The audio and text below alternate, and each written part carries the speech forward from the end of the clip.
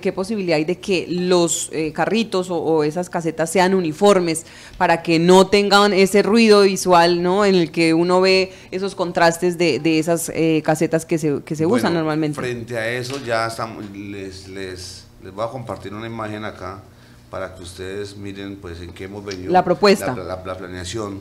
Eh, pensamos en hacer un, un, contrato el próximo año y mediante estamos esperando unos recursos eh, para poder generarle por lo menos 50 carritos uniformes a los vendedores eh, informales.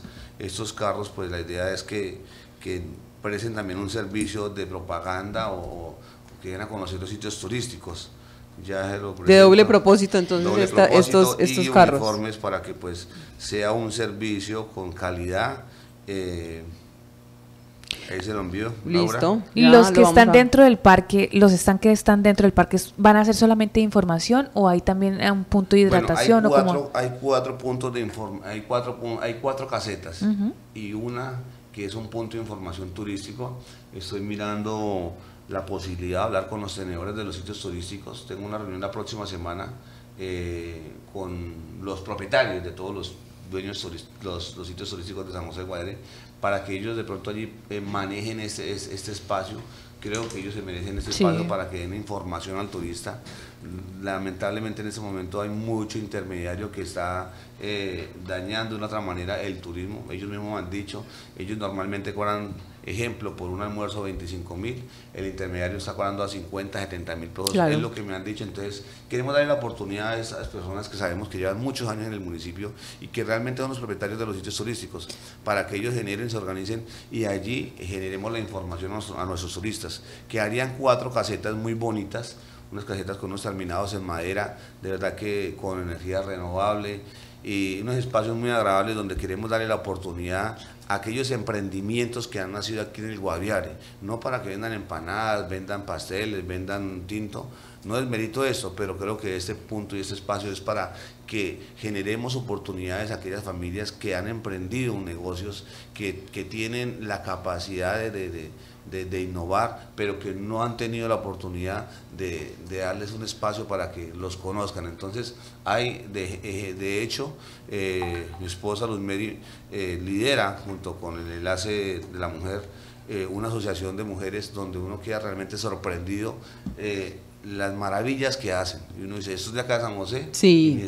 no, y hay muchos. Expo Guaviare nos dejó muchas eh, expectativas, sobre todo de tantos proyectos, que productos que ya se están transformando y que tenemos que apoyar aquí. O sea, estamos viendo las casetas. Y la, idea es que, la idea es que allí eso sea ocupado por personas que realmente tengan unos... Como una marca, mm, esa marca, Guaviare, esa marca Guaviare que, que represente esa apuesta por, por todo el tema amazónico. va a tener un costo, un costo mínimo, pensando también eh, en la administración del parque, porque necesita allí una persona que esté muy pendiente de los jardines, de la misma seguridad del parque, que no se lleven los cables. Claro, las luces, porque veo que hay mucha luz. tecnología nueva, una, un alumbrado LED.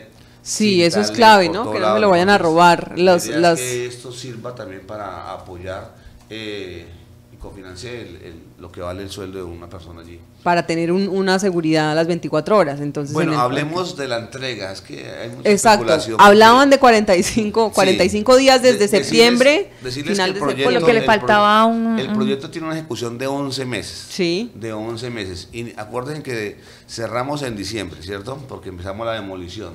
Estamos en el mes 10. Sí. Sí. Y uno que pasó 11. Prácticamente no estamos incumpliendo nos pasamos un mes debido a que hubieron tres meses seguidos de, bastante lluvia, lo que fue mayo, junio. y parte de julio, y fue algo pues eh, terrible para el contratista porque me, mostró con videos cómo tenía que demoler las placas, porque cuando llueve mucho pues... Y para meterlo de la electricidad. Agua, se dilata y no sirve.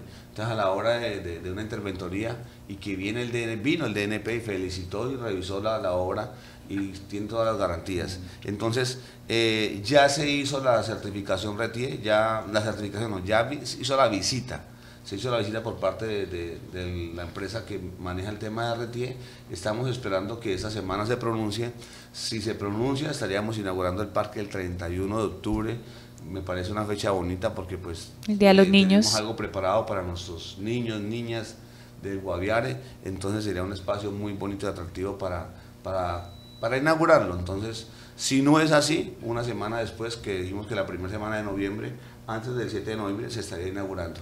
La idea es pues entregar esta obra. Eh, tuve la oportunidad de ser acompañado por las diferentes IAS, Contraloría, Procuraduría, la regional, la departamental y la nacional, y pues ven realmente que, cumple toda, toda la, normatividad y lo que se especifica en el contrato. Entonces, de hecho, nos felicitaron tanto a la administración, porque nosotros somos la supervisión y puede ser contratista por los acabados. Claro, ya estaría entonces prácticamente listo, ya estaría a, días, eh, ojalá y puedan este, entregar eh, este parque. Estas imágenes que están viendo ustedes ya están desactualizadas, ya están avanzadas un poco en, en, en, esto, son de archivo y de apoyo para que las personas... sí, señor, para que, para que las personas no se vayan a confundir, pero pues así prácticamente ya, ya está esos toques finales. Pues